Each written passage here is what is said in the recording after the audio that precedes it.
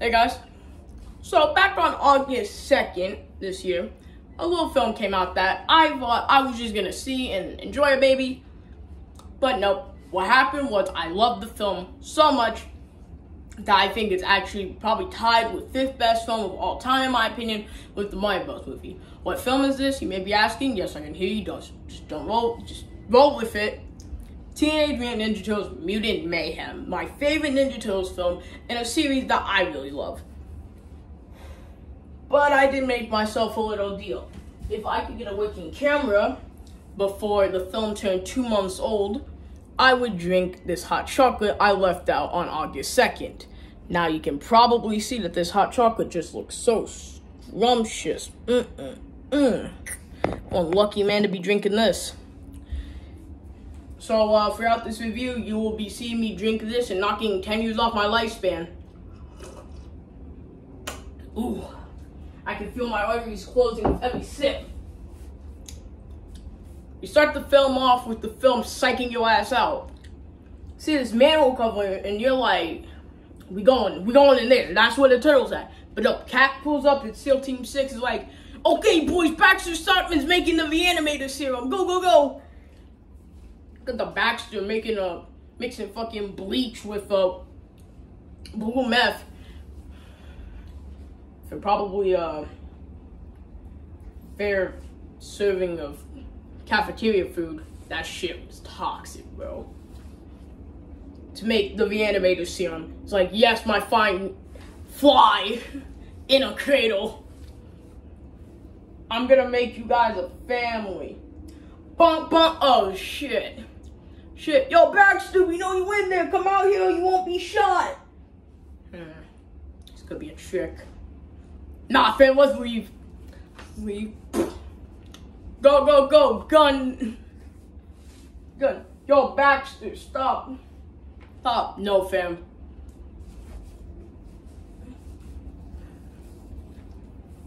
Fly gone. Where fly go? Where fly go? Oh no. Oh no, the fly. Fly. Yo, what the fuck were you putting in that fly? Eh. Nothing but weight gain 4,000. What the fuck? Oh no, the fly took my eye. no, don't shoot the tank of oxygen. We go by Jaws logic. That would explode.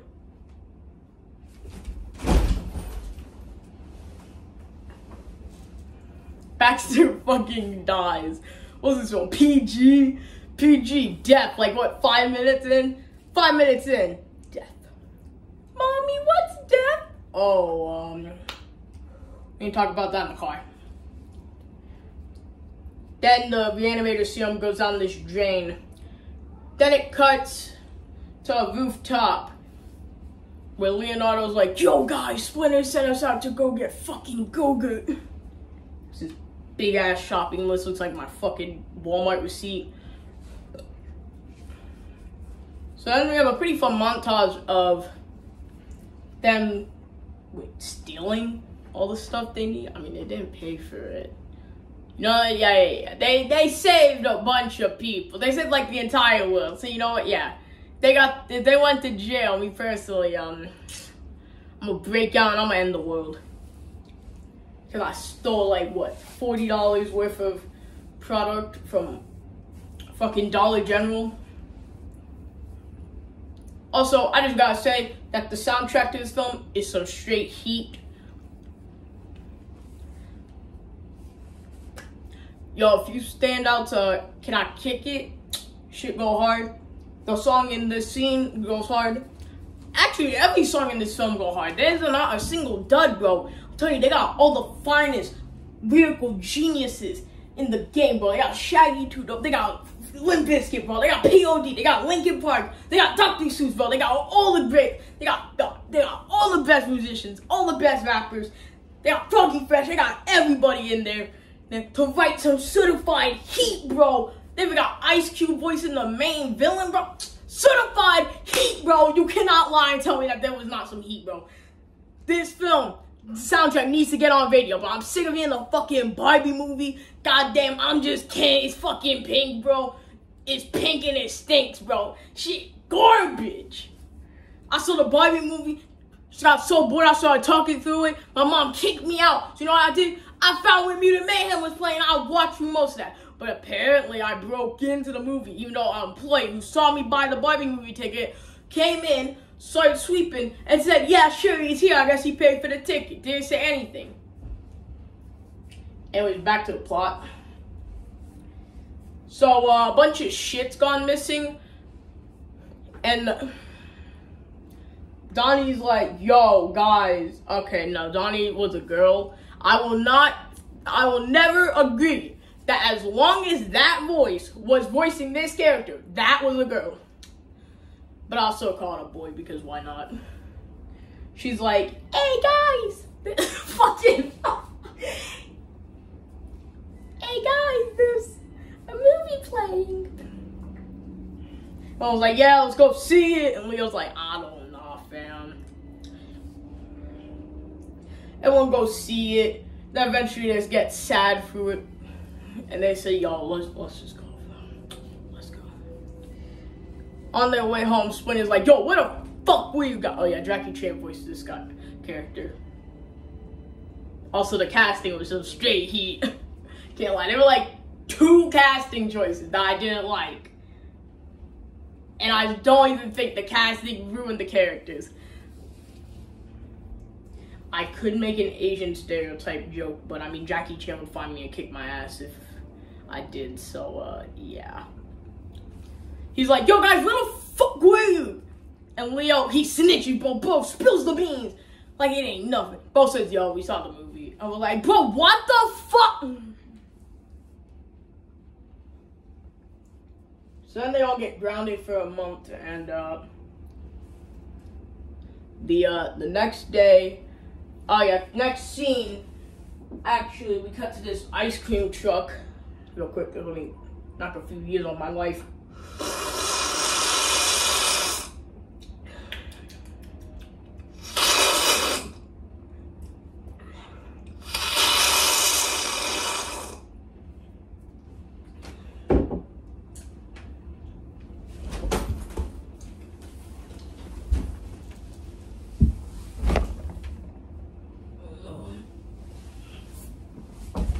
Shit. Ugh. Oh yeah. They're ungrounded, so apparently we skipped a month in like 10 seconds. Wait, no ice cream truck scene. So a bunch of people got hired by Superfly. Uh, I, I stealing this thing by from TCRI, which is where the ooze comes from. Oh yeah, spoilers, I guess. Fucking eight minutes into this video, spoilers. They fooled this guy to going into the middle of nowhere in the fucking hood. And they pop his tires and they nuke him. They blow the door up and then they take the shit, put in the ice cream truck, but they get caught because they speeded in the pigs, which is in some alleyway in the hood, as one does. Then Superfly picks him up and he flies him away. We kind of get to see like Superfly but at the same time, we kind of don't. So it's still kind of mysterious. But if you just don't want to know what he looks like until the big reveal later on in the movie, just close your eyes and just let let yourself hear it. Next scene down grounded, and they're just slicing some fruit, playing fucking Fruit Ninja IRL. When Raph is like, "Yo, let's use the Ninja Star." So he throws it, and it throws off the the roof that they're on, and it hits April, who's black, in this helmet. And she's talking the most shit. Shadow has a Korn t-shirt on or a fucking WWF t-shirt. In 2023, she's, she's like, hey, yo, what the fuck's your problem, bro? You tried to kill me? Then some guy steals her bike, and Leo starts straight up simping, bro. Simping. Bro, not even. Bro, not my Leo. So then they go and they get the bike, and we get to see an epic fight scene. Also, the fight scene is oh, on just top tier, bro.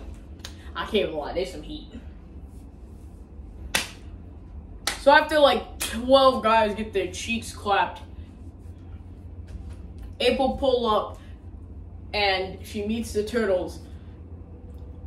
And at first she's like, nah, nah, bro, some costumes. Then she touches the eye and then she starts freaking out. But then five seconds later, she's she's chill again. So April wants to be a news reporter, but she tried to do it on camera, but she threw up. So now she's called Puke Girl, and the prom got canceled for reasons. So she's trying to get prom uncanceled. So the turtles are gonna help her because they don't. They just want to go to high school.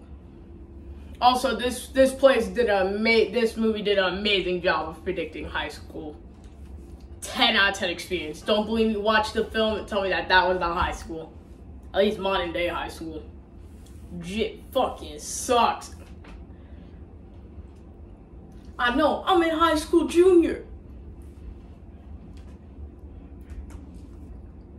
So then she pinpoints a bunch of shit after she gets this piece of paper that a bunch of people, like uh, fucking a woman, Toupee Tom, Normal Nate, and the fucking Rat King. Yes, you could say Bad Bernie or whoever the fuck, but no, that was the Rat King. You cannot convince me otherwise. So after more straight up heat music and more straight up heat fight scenes, eventually Bad Bernie's like, yo, here's the deal. Here's the van, here's the shit. Now just go under this bridge and they'll be Superfly. They go under the bridge. Oh uh, yeah, Master Splinter's like, yo, I know what you guys are doing, bro. You guys, you guys are leaving on that dumb.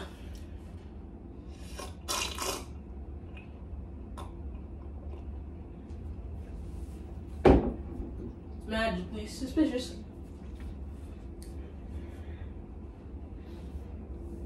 and he tries to get him a bunch of cardboard cutouts for friends, but they say, nah, bro, just, just uh,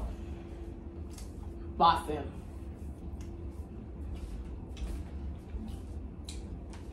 So then they roll up. And then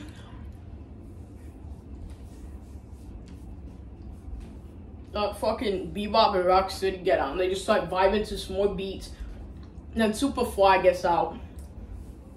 And bro just vibing. I can't even lie. Both, both busting some moves. Then they realize that they came from the same ooze. So technically they're cousins.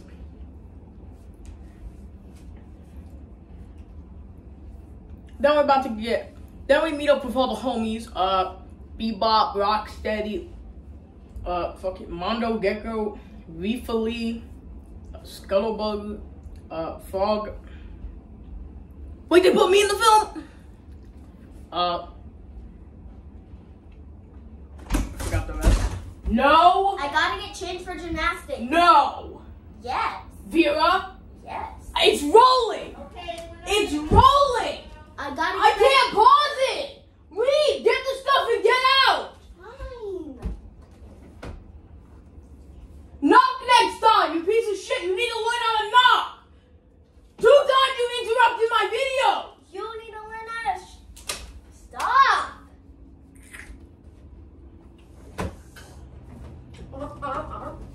Shut the fuck up! Make another song, I'll kick your ass! Then they go to this bowling alley, and there, oh yeah, there's also fucking Wingnut. Fuck Wingnut. Wingnut was from the fucking Mutants in Manhattan game, and I hated that boss fight so much! It was so boring!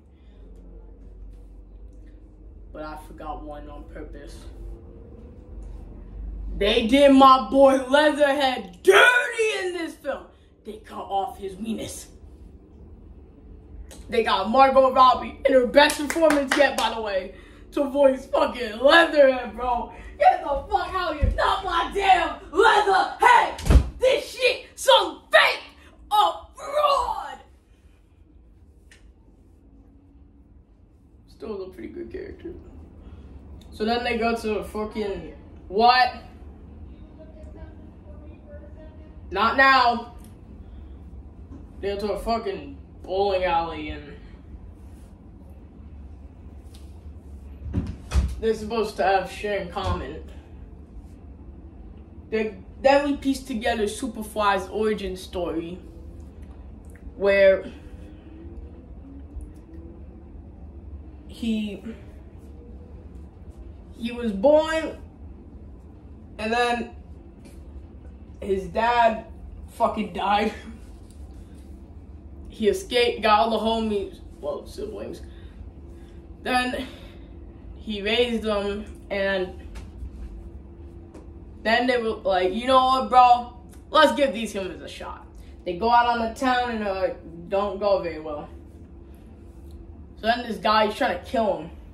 That Superfly says, nah, fuck that, bro. So Superfly touched that cheek, started my whopping that boy. What? What? Put that foot on the ground, beat that, beat his ass within an inch of his life. Then, from that moment on, he decided to make this big ass, giant, fucking 20 ton ray that points at the moon and will turn all fleas, shit animals into a mutant.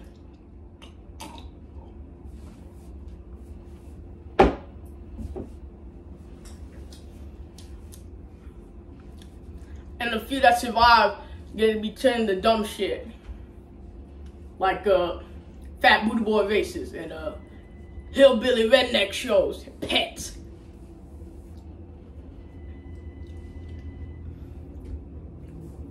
So then the trolls are like, um, no. Then April's like, bro, you really just gonna let him do this? So they come up with a plan, but gets fooled. Plan was that they're just gonna drive away with the piece, then throw the piece in like a fucking vat of acid. But make sure that they know where they're going. Fucking Rocksteady, Wingnut, and Mondo Gecko go with them. Mondo be driving, even though bro looks like he's stoned. Bro looks like he's been stoned since Woodstock.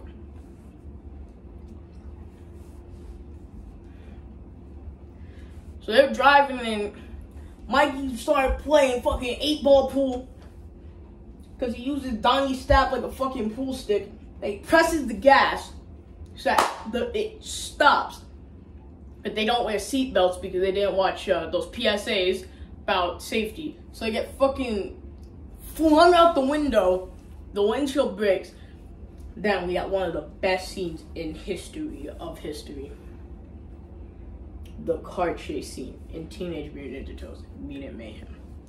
So good, it makes me makes me drool, makes me want to go play eight ball pool, makes me want to sit on a stool. That's how good this scene is. Steak moved up to the maximum. What? Grandma, not now. Everything about this scene is perfection until it stops. That that's the worst part about it. But I mean, the film didn't stop, so it's not that bad.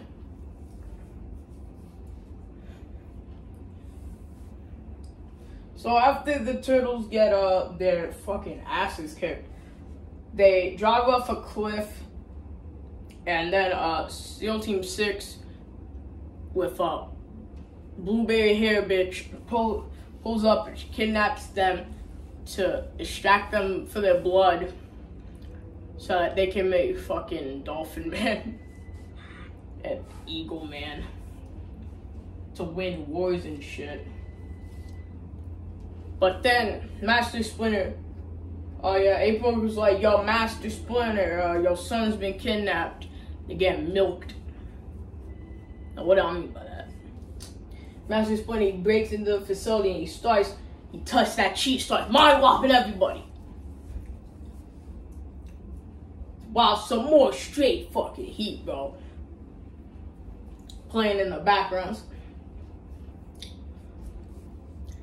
He he breaks him out. He's like, yo guys, you, you fucked up. Now let's just go stop this and live in the sewers. And they're like, yeah, sorry, dad, bro. I I know you're not you're not mad. You're just disappointed." So they go and everybody, they're like, "Yo, man, those turtles were cool." Till they threw us out the window, but then, then the turtles pull up and the Superfly like, yo, guys, just, just fucking stop, bro. You guys tried, almost got killed once. Just give up. What do you see about these humans? And they're like, I mean, they ain't all that bad.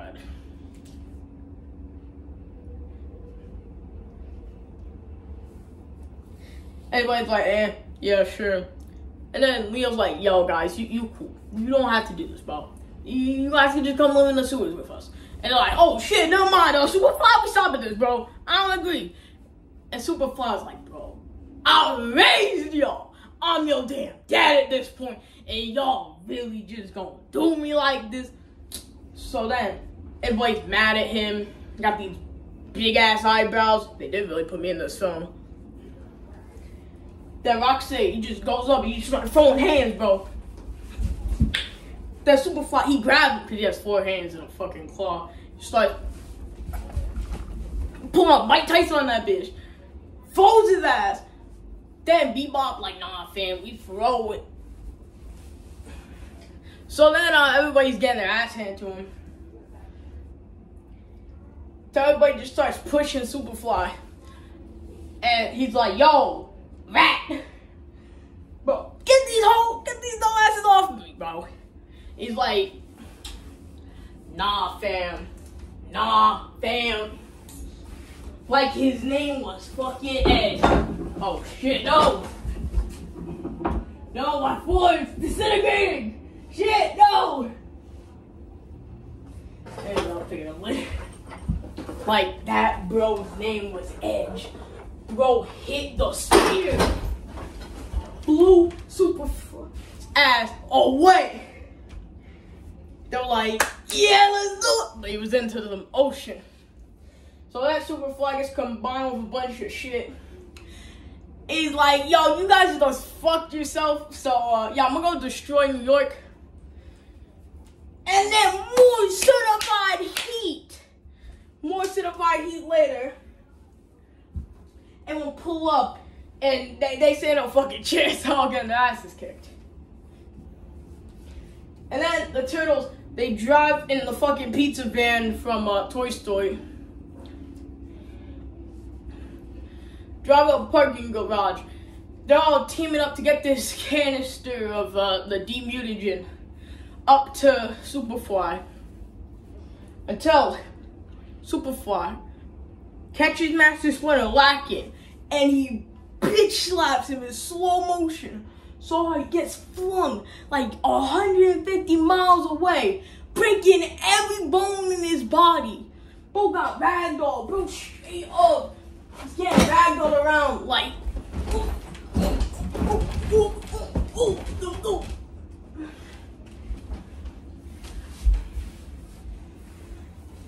Then he thinks it's over. Some humans pulling up, he cracking his knuckles like, nah, fam, it's over, bro. But then he taps him up like, yo, I got you, fam. Because April got to Channel 6, just like the show and was like, nah, bro. That fly, he the problem. These turtles, they the shit, bro. I don't think my floor's supposed to be hissing. Yeah, I'll figure out later.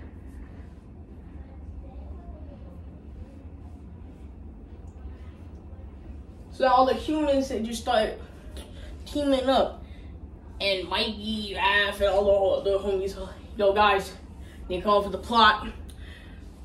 So, according to Demon Slayer, Attack on Titan, or some shit, I don't watch anime. Apparently, in the back of every monster's neck, there's this hole, and if you put something in it, as like a fucking penny in there, boom, they dead. So they think, get up there, throw it in the hole, and then we Gucci, bro.